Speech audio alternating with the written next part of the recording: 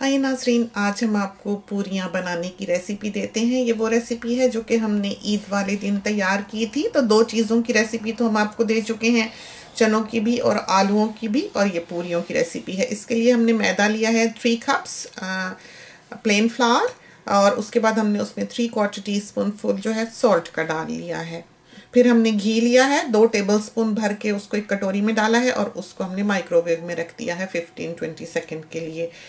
थोड़ा सा नरम हो गया है, उसको हमने आटे में मिला लिया है, यानी कि प्लेन फ्लावर में। अब हमने मशीन चला दी है। अगर आपने मशीन यूज़ नहीं करनी तो बस हाथ से ये आटे में अच्छी तरह घी मसल लें। उसके बाद हमने दो कप फुल क्रीम मिल्क लिया है।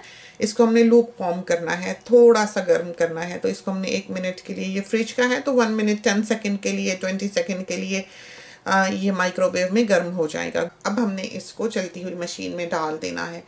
आ, आटा जो है ये गूंद जाएगा। नरम सा ही गूंदना है। इसको सख्त भी नहीं करना है हमने ताकि पूरियाँ जो है वो नरम बने और बेलने में भी आसानी रहे। अब हमने ये आटा निकाल के एक बोल में डाल लिया है। बोल पहले थोड़ा सा रिंस कर लिया है ताकि आटा नीचे ना चिपके। और ये देखें कितना नरम है। बहू ने हाथ लगा के भी दिखा दिया है। इसके ऊपर ये जो डिस्पोजेबल सा क्लॉथ होता है, इसको हमने सोक करके स्क्वीज करके कवर कर देना है। ये फूलेगा तो नहीं, लेकिन इसको रखना थोड़ी देर ज़रूरी होता है। तो ओवरनाइट बेशक रख लें तो बहुत अच्छी बनती हैं। और अगर ओवरनाइट नहीं रखना है तो टू आवर्स कम अज़ कम हो। उससे यह है कि बहुत मुलायम हो जाता है, फिर पूरियाँ जो है अच्छी बनती हैं। अब हमने पेड़े कर लिए हैं, आपने देखा, थोड़ा बहुत खुशके का इस्तेमाल किया है ड्राई फ्लावर का। ये नीचे से चिपकेगा क्योंकि हमने पतला गूंधा हुआ है।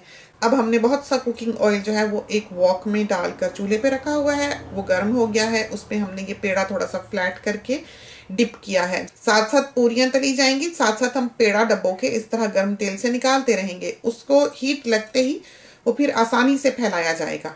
और तेल ही फिर लगाना है, उसी से ही आपने इसको बेल लेना है। खुशका नहीं लगाना, अगर आप खुशका लगाएँगे तो तेल में जल जाएगा वो।